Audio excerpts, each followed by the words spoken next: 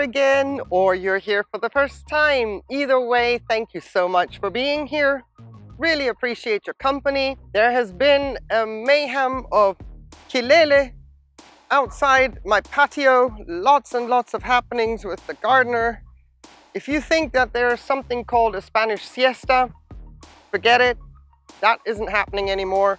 It was all ready to go and all ready to film and then suddenly, boom, it seems like three gardeners had to put on all their toys right at 2 p.m. So forget it, Spanish siesta, that's part of the history. What is not part of history is the future of my Cattleya bicolor, the one that I got from Afri Orchids. On the new imports update video, I showed root nubbins and lo and behold, a couple of days later, There's more coming. And I love them at this size because I won't be doing any damage. That's what I want to show you in my video today. We're gonna clean her up. She's been soaking in CalMag and seaweed, but only because I wanted to also soften the sheaths. Everything that has been happening up until now with her care while she's in my collection acclimating has happened. This was just me for convenience sake. I want to soften the sheaths because we're going to clean her up properly. So all this is coming off as best as possible. And the reason I like my root tips to be just barely, barely like on this nubbin stage is because I tell myself I'm going to do less damage. And the plan is to show you in this video that I will do less damage and actually not break it off. And then by potting her up, I won't be also damaging any new roots as they go into the pot with leca around them because they haven't grown enough. And then I can tease her much better. Well, I can tease the roots much better into the pot because they will be going down into the pot seeking out the leca for the humidity factor and the moisture. That is why I'm taking you along for the ride of this potting up of my Cattleya bicolor. And you know what? These Afri orchids are really, really faster in their acclimating to my environment than the Floralia ones that I got earlier this year, which as you saw, if you haven't, I will leave a link in the description about my imports and how they're doing, that update video. And they're still being babied. So there's something to be said about these orchids from Africa. They're doing really well and adapting very, very quickly. Now, as the noise level increases on the other side of the hedge, I'm going to hopefully find a nice piece of music while I clean out all the dead roots and then hopefully by the time I switch the audio back on, everybody will have just stopped whatever it is they have to be doing.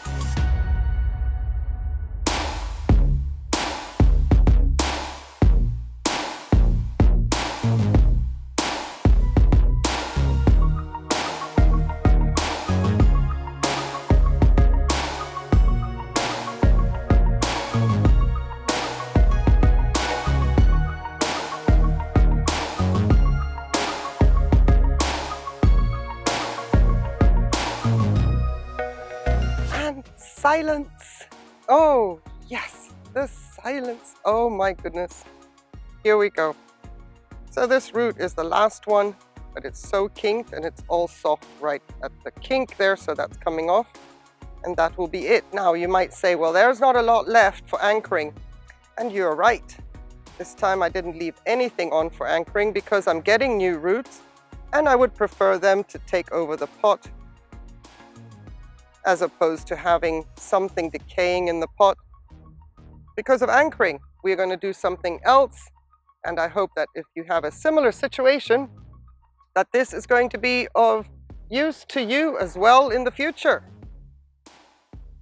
This is a beautiful sight. The pot is ready, the support is ready, the loop is ready, one microfiber, and small leca because this is a seedling. So small leca to allow for much, much more water and humidity around the roots as they develop. stubborn support. And then we're just going to fill her up. And we're going to see whether this was even necessary because what I'm planning to do with this one is a little bit different than with the other repots. Still, there's no harm, no foul in case an eventuality occurs that there is a need to protect a root as you pour leca into the pot. So there's not a problem in just being a little bit cautious. But the idea being the orchid is going to go in the pot. That is what we're here for. And then she is just going to sit on leca and I'm not going to fill her up, but I'm going to tie her and secure her to the post so that all the roots that are growing now will go straight down into the pot. You see, the old roots as such are not used to leca.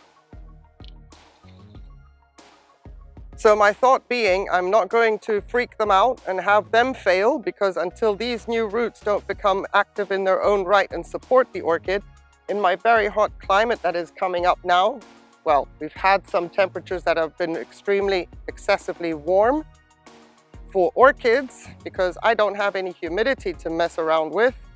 I have to provide humidity for my orchids all by myself and sometimes I get behind and usually at this time of year I'm not potting up orchids that could start to deteriorate because they don't have active roots to help them sustain and avoid dehydration because of the transpiration through the leaves.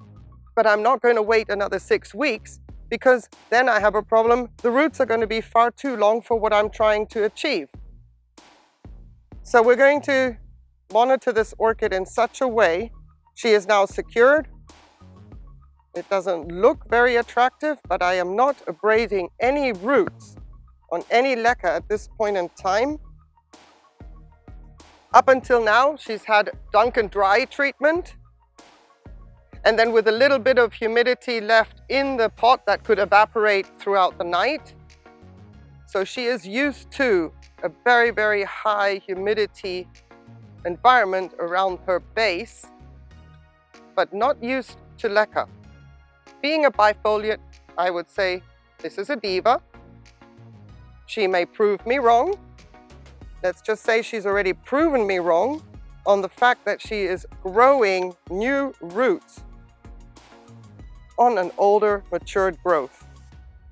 That I didn't expect, but I'm very, very happy to accommodate.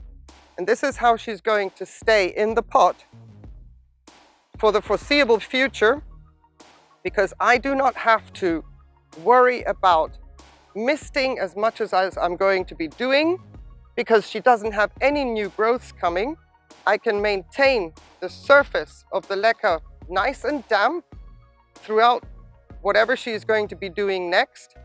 And then as the roots start to grow longer and longer, and I'm talking about the new ones, I will start lifting her up before the roots touch the leca, lift her up to the ideal height that I want her to be at, this way I've got a lot of humidity around the base. Even a hot wind won't affect and disturb this too much. I can be aggressive with my misting and as the roots grow, she is going to come up and up and up bit by bit until I'm happy with the length of the roots and where she is at and then I'm filling around with leca. That is the plan for my Cattleya brasiliensis from all the way from Africa Seeing as there are no roots in the pot, there is no need for anything to be in the reservoir either. So this is now just misting, misting, misting. I am not going to be using any more seaweed. I will be using the occasional calcium magnesium solution at around 60 parts per million, 6.3 pH, no more seaweed. We've done the job, we've got roots to grow, and now let them grow. If I apply too much seaweed, get the dosage wrong, I could risk stopping root production. She is ready to go and this is going to be fun for me to observe and watch and keep you updated on. Because I've done this quite often with other orchids and it has worked. Now I can film it and I hope that one day maybe it this is a useful little trick for you to do as well. Thank you so much for watching. Hope you enjoyed this little touch of difference. I appreciate your time. Have yourselves a wonderful day. Stay safe and I hope to see you in the next video. Take care. Bye.